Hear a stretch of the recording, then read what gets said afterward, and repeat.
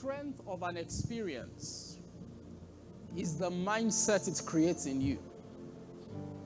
I'll say that again.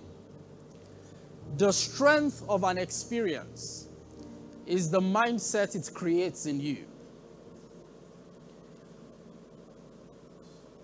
I hear that some of us are seeing and looking at 2024 with the mindset that the experiences in 2023 gave you. Well, you heard the word of the Lord. 2024 is not a continuation of 2023. How many of us have goals here for 2024? You've written down or you've documented some goals. You documented those goals with the mindset of the experiences you've had in 2023, I came here to tell you you are wrong. What God is set to do in our midst in 2024 is unprecedented. And it's starting tonight, and that's why you cannot miss tonight. This is an admonition and a plea from a brother to you. You cannot miss tonight. You see, do you know who a man of God is? A man of God is someone who God uses to establish his will on the face of the earth. And I'm so glad that in this house we have a true man of God. Someone who God uses and will use for us tonight. You see, understand this, understand this. You can pull out anything from Pastor tonight. Anything. Just anything. Don't get too familiar with the grace that he carries. You see him every Sunday preach. You might even know him closely, talk, gist about Chelsea, Arsenal, Man U, and all of that. Don't get too familiar with the grace that he carries. Tonight is not one of those ordinary nights. It's a unique night. And you must be prepared to receive all that God has for you. So you cannot miss tonight and do not come alone. You've written down goals for 2024. Powerful. But you see, like I said, 2024 is not a continuation of 2023. Hope you did not define those goals through the experiences that you've had in 2023. Tell somebody, enlarge your capacity. Tell somebody else, enlarge your capacity. Can you, can you walk up to five people and preach to them? Tell them, enlarge your capacity. Enlarge your capacity. Enlarge your capacity. Enlarge your capacity to receive. Enlarge your capacity. Hallelujah. You may please be seated. In Matthew chapter 9, verse 17, Matthew 9, 17, Jesus speaking says, Neither do men put new wine into old bottles, else the bottles break, and wine runneth out, and the bottles perish. But they put new wine, somebody say new wine, into new bottles, and both are preserved.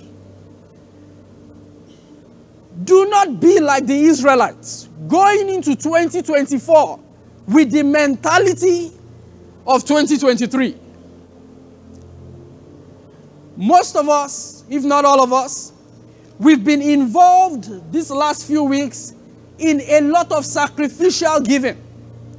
You've given so much.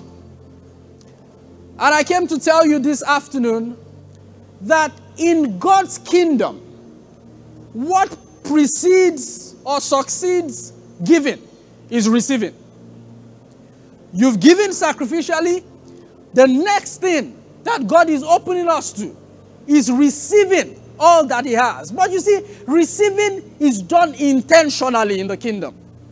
In the first and second services, get the messages. I spoke to us about different ways to receive from God, and I dwelt on expectation. I perceive that in this service, I want to just tell you enlarge your capacity. Ah, enlarge your capacity. There is this wonderful song, Fill My Cup, Lord. I bring it up to you, Lord. Come and quench the testing of as as pious and religious and holily that song sounds. The truth is this: if you bring a cup to God, He will fill it. If you bring a basin to Him, He will fill it. If you bring a tanker to Him, He will fill it. If you connect a pipe to the ocean, it will keep getting filled. Your capacity defines and determines how much you take away from God. In 2024, do not pity God. Enlarge your capacity to receive from God. Enlarge your capacity. You know, in First Corinthians, or Chronicles rather, First Chronicles chapter 4, the Bible tells us a story about a man by the name Jabez. You know, First Chronicles chapter 4. The Bible says, and Jabez from verses, I think 9, thereabout. It says, and Jabez was more honorable than his brethren. He says, and his mother called his name Jabez because his mother bare him in sorrow. So even though Jabez was more honorable, his experiences in life was being defined and marked by sorrow. It wasn't, ex, Jabez's experiences were not what he wanted. They were not in alignment with God's will for Jabez's life. Jabez came to pray to God. And hear what Jabez said. Verse 10. Jabez said, He called unto the God of Israel. He says, Oh, that thou wouldest bless me indeed. How? Read the next part with me. And what? Enlarge my coast. Enlarge my coast. That's how Jabez prayed. He says, Enlarge my coast, that thine hand might be mighty with me, and thou wouldest keep me from evil and that it may not grieve me. And hear what the Bible says. He says, and God granted him his requests. Now, in case you do not understand what Jabez prayed, let's go to Isaiah chapter 54. You begin to read again, Isaiah 54, verses from verses 1. The Bible says that sing, O barren. So you wanted to bear fruit at a particular level and it was not happening. In the first and second service, I, I, explained that in the kingdom of God, understanding reigns. Understanding defines and determines the level of experiences you would have. I explained that from the book of Matthew, chapter 13, verses 8 tells us that talking about the parable of the sower, he says somebody sowed on good ground. So the ground was good. The ground was not the problem. He says sowed on good ground, but the experiences were different. Somebody had 30 fold, somebody had 60 fold, somebody had 100 fold. And then Jesus tells us why in verses 23 of the same Matthew 13 that the difference between the person who has 30, 60, and 100 is understanding. Amen. Now, with that thought in your mind, now we go back to Isaiah. So you can, barrenness does not necessarily mean maybe not having any child at all.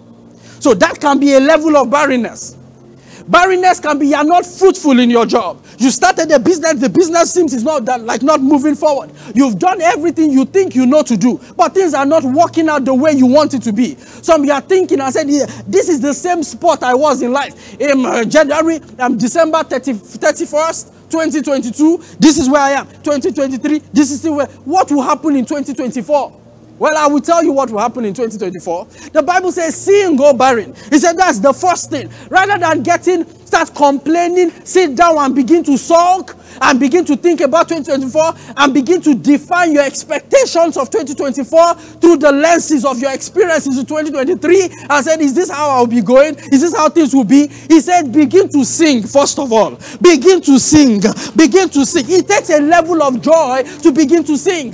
Let me explain something to you. When you talk about joy in God, there are expressions. The first expression is singing, the second expression is laughter, the third expression is dancing. So begin to sing sing, begin to dance, begin to laugh. And he says, Sing that thou, thou did, that did not bear. He says, Break forth into singing and cry aloud, thou that did not travail with child. He says, For more are the children of the desolate than the children of the married wife, saith the Lord. Verse 2, I like this verse. Verse 2 says, enlarge the place of thy tent. I don't know. Are you reading this verse with me? He says, enlarge. Whose responsibility is it to enlarge the place of your tent? Uh, you see, any gospel that places all the responsibility on God is not the true gospel. He says, Enlarge the place of thy tent. Let them stretch forth the curtains of thy habitations. Spare not, lengthen thy cords, and strengthen thy stakes. Verse 3, I like this one. He says, For thou shalt break forth on the right hand and on the left, and thy seed shall inherit the Gentiles, the nations, and make desolate cities to be inhabited. Meaning you will redefine your experiences. How? By enlarging your capacity to receive from God. Hallelujah. Enlarging your capacity to receive. Enlarge your capacity. Don't let 2023, your experiences, we thank God for it, but don't let it define. A loved one died in 2023. I mean, maybe 2024 is the year. It's not the year. Let me tell you what will happen to you in 2023. Four, rather. Go to Amos chapter 9. That is what will happen. Pastor Tutu read it a while back. This is what will happen in, um, in 2024. This is your experience. Um, he says, I saw the Lord. No, no, no, no, no. Verse 13. He says that, behold, behold, the days come, saith the Lord, that the plowman shall overtake the reaper. I don't know if you understand what this means. It means, you see, a plowman is the person who is still making ridges. He's just sowing seed. he said, You're just sowing seed. He says that person who is sowing seed shall overtake the person who is already in the harvest season. He says, And the treader of grapes, him that soweth seed, and the mountains shall drop sweet wine, and all the hills shall melt. Now, if you might not understand it very well, let's go to the message translation of the Bible. Same verse and same chapter. Now, the message translation says it this way Yes, indeed, it won't be long now. It says, God's decree, things are going to happen so fast. Ah, oh, things are going to happen so fast. You see, in 2024, things are going to happen so fast. The plowman shall overtake. You've sown seeds, sacrificial seeds. Hey, somebody has gone through natural law, has done the necessary things. They've invested rightly. You know, they've sown, they've worked hard for many years. They built this business. They've done all of these things. But he says, You that just showed up in the scene, you will just show up, and your results will be the person who just who had been there for many years. Will say, Ah, what's happening here? I will tell you what's happening. Grace is happening here. He's, he says, he says things are going to happen so fast your head will swim. One thing fast on the heels of the other. You won't be able to keep up. I like that part. Ah, ah hey, hey, hey, hey. He says you won't be able to keep up. He says everything will be happening at once. Ah, oh my God. So it is not family will be fine now. Then what happens? Hey, the business is not doing well. Oh yeah, let's go attack business. Um, okay, the business is not doing well. Ah, then you look at it. Oh, my job. Yeah, yeah. No, no, no. He says everything will be happening at once. This is peace. Nothing missing, nothing broken. This is it. This is it. He says, and everywhere you look, blessings. Everywhere you look, blessings. He says, like wine pouring off the mountains and hills. This is your experience in 2024. Enlarge your capacity to receive it. Joel chapter 2, please. Joel chapter 2, from verses 23. I want us to read it. Joel chapter 2, from verses 23. He says, no, no, don't give me in the message. Give me in the King James. Now, the Bible says, Be glad then, ye children of Zion, and rejoice in the Lord your God. Ah, no, no, no. I'll read it again. I'll read it again. Be glad then, ye children of HOD, and rejoice in the Lord your God. Why? Why? He says, For he had given you the former rain moderately, and he will cause to come down for you the rain, the former rain and the latter rain. In the first, that means from the first month, from January, from January, from January. God, God is not going to wait till December. From January, he says he's giving you the former. That means, has anything good happened to you in the past? Has anything good happened to somebody you know about?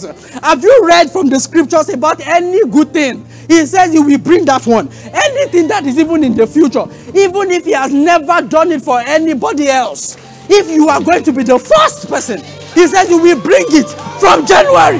From January. From January. Verse 24. He says, and the floor shall be full of wheat, and fat shall overflow. Hey, hey, this, this should be your language in 2024. Overflow. I'm telling you, overflow in every dimension. Money overflow, dollars overflow, health overflow, every dimension overflow, promotions overflow. So, I mean, you come to God and you say, ah, let's thank God, though. They promoted me, double promotion. This, this, this. somebody cut it. Somebody cut it. Say, let's thank God, double promotion. This, this is January now, double promotion. As you are going back, February, you come again, another double promotion. You come back again, you say, ah, ah, ah, ah, ah. Um, saints, please help me thank God.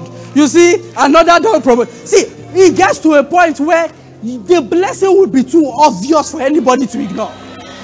Verse 25, he tells us what he's going to do and how he's going to do this. Ah, he says, I will restore the years that the locust had eaten. Restore, restore. Go to verse 26. Then I will come back and explain something about restore. He says, And ye shall eat in plenty and be satisfied and praise the name of the Lord your God who hath dealt wondrously with you. He says, And my people shall never be ashamed. Hallelujah. He says, I will restore the years. Let me explain something. Can, can, can I have five brothers? Any five, five brothers come any from anywhere? Five brothers, please, very quickly. Can you come on stage? I would restore the years. Let me explain to you what restore the years mean. Any brother, thank you, thank you. God bless you. Thank you, sir. Can you just stand? Stand. Hallelujah. Good, good. Can you face this direction? Can you face this direction? Hallelujah. Now, this is 2020 what?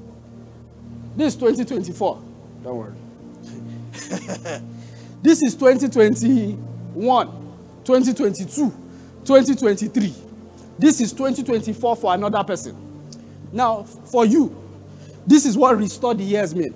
Ideally, where you should be in terms of your experiences, right, is at this level. So this person has labored for years. All through the year, he worked hard. He worked hard. He invested. He did different things. So he arrived, he's arriving in 2024 knowing that, ah, 2024 will be good. Why? Because I have done all of these things. God is saying, uh, in my technology, in my kingdom, I will take you. Now, if, if, if you were to look at it from the natural standpoint of view, you don't stand a chance against this person. But you see, restore the years mean, okay, you wasted 2021. What you were supposed to have been experiencing 2022 didn't happen. 2023 didn't happen. He says, you know what? In 2024, I'll just fast track everything and carry you. That is what restored years. Thank you, sir. Thank you, yeah. That is what restored years mean. All of the experiences, God just carries it, puts it together, and carries you. When you look at yourself and you look at the people that have labored and done all of those things, you look at it and say, What's the difference? Grace is the difference. The person will be wondering that how did it happen so fast for you? But there is something at work. Something at work. Grace is at work. Grace is at work. I will restore the years. I will restore the years. Now listen to me. Listen to me. I said any gospel that places all the responsibility on God is a false gospel. You see, there are things that God would require you to do. One of such is what I am telling you today. Enlarge your capacity. Now, how do you enlarge your capacity? Psalm 78, verse 41. As I began to close. Psalms 40, 78, rather, verse 41. The Bible says, talking about the children of Israel, he says, Yea, they turned back and tempted God and they did what, saints? Can you read it with me? They limited the Holy One of Israel. I have a message for you today, and it's very simple. You might have heard it before, but I bring it to you prophetically. In 2024, do not limit God. Don't limit God. expand your capacity to receive from Him. Do not limit God. In 2024, don't limit God. This night, don't limit God. It is an advice. Don't limit God. Because God can do anything. He can make a slave wake up a slave and sleep as the prime minister in Egypt. God can do anything. He can look at a lady who is an ordinary citizen and make her sleep as the queen of the most powerful kingdom on earth. Ask Esther. Do not limit God. He can take five loaves and two fishes and use it to feed more than five, 12,000 people and 4,000 people, 10,000. Do not limit God. You can enter into 2024 with thousands in your account and end year with billions. Don't limit God. Don't limit God. I mean, when you see me December 31st, 2024, and you see me living in billions and living a good life and in health, don't blame me. I did not limit God. Don't limit God, saints. Don't limit God. It is a warning. Don't let the obstacles that are before you make you begin to limit God. Take out all the obstacles and allow God to do in your life what only Him can do. You've sowed seed, there is seed in the ground, saints. And God respects sacrifices. There is seed in the ground. Receive all that He has for you. Don't limit God. Don't limit God. I wish there is a way I can say it stronger. Don't limit God. Expand your capacity to receive from Him. And I can assure you, we will all see He come here, of course, mercy seat, not here, here. Mercy seat. And be giving God glory because we will be very different people. He would have done mighty, mighty things through us and then would expect him to do something else in 2025. Can you jump on your feet this morning? Hallelujah. Hallelujah. Don't limit God. Don't limit God. Expand your vision to receive all that God has for you. Hallelujah. This night, do not miss it. I want you to preach to your neighbor. Don't miss tonight. Come with expectation. God's servant is ready. God is ready. Be ready to receive all that God has for you. In Jesus' precious name. Hello, thank you for watching us. We don't want this to end without giving you an opportunity to make Jesus Christ the Lord of your life. You know, um, after listening to God's word like this and you have never made Jesus Christ the Lord of your life, it's an opportunity to come to Him and it's a simple process because He has made all things available. I want to implore you now to give your heart to Christ. And by saying these words, because giving your heart to Christ must be done consciously, He has paid the price. Say after me, say, Lord Jesus, I come to you. I believe that you died for me and that you rose again. I believe that you shed your blood for my justification. I accept your finished work right now, and I confess that you are the Lord of my life. I believe in you. Thank you, Jesus. If you have said those words, you are actually born again, a new creation in Christ. Join us for more of this. God bless you.